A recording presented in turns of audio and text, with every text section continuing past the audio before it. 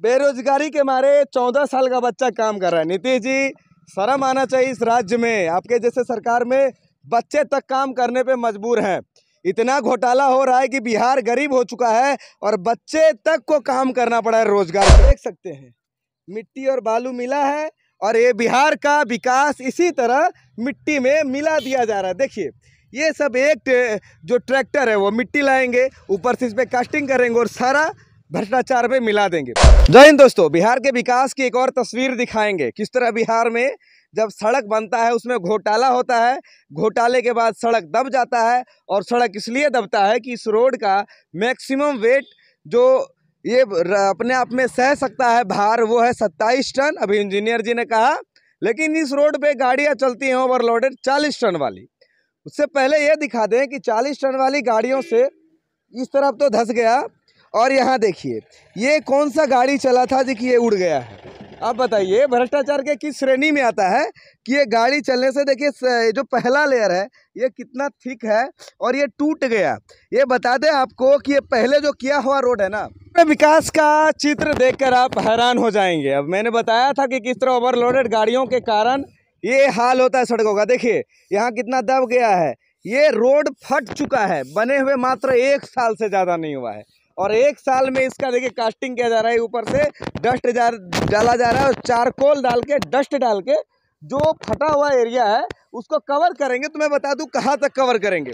ये भी फटा हुआ है, वो भी फटा हुआ है। ऐसा कोई सड़क का भाग नहीं है जो नहीं फटा हुआ है। लेकिन एक बात और सवाल है कि क्या आखिर ऐसा कास्टिंग होता है?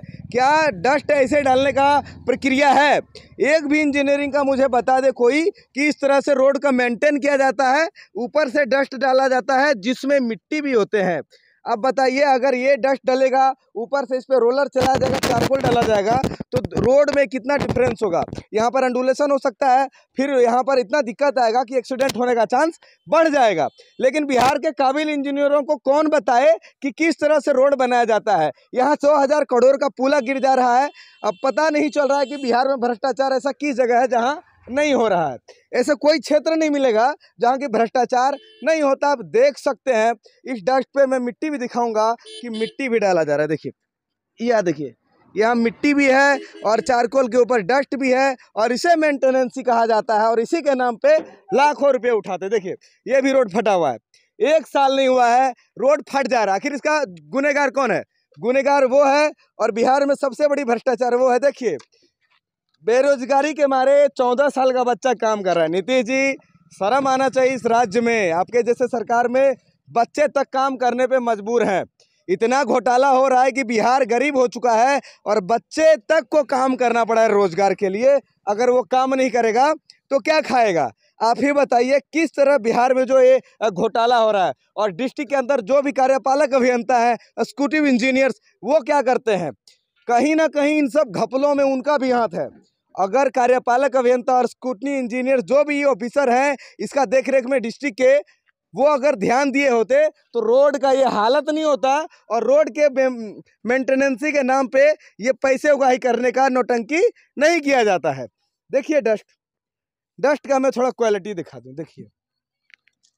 अब देख सकते हैं, मिट्टी और बालू मिला है और ये बिहार का विकास इसी तरह मिट्टी में मिला दिया जा रहा है। देखिए ये सब एक जो ट्रैक्टर है, वो मिट्टी लाएँगे, ऊपर से इस पर कास्टिंग करेंगे और सारा भ्रष्टाचार पे मिला देंगे। ये इतिहास है बिहार का, इसीलिए बिहार अभी गर्क में जा रहा है और यहाँ का जो तरक्की है, सब मिट्टी में धूलित हो जा रहा है। थोड़ा सा सोचने वाला बात है और बिहार सरकार कर क्या सकती है? उसके सामने 2000 करोड़ का पुल गिर सकता है तो इस रोड की औकात ही क्या है? ज़्यादा कुछ नहीं कहना, बस विनती है डिस्ट्रिक्ट मजिस्ट्रेट से कि आप अपने स्कूटनी इंजीनियर जो भी हैं और जो डीडीसी हैं और जो कार्यपालक अभियंता है, थोड़ा सा उनको बुद्धि दीजिए ताकि इन सब जो घोटाले और घपले हो रहे हैं, इसमें रोक हो सके। जय हिंद।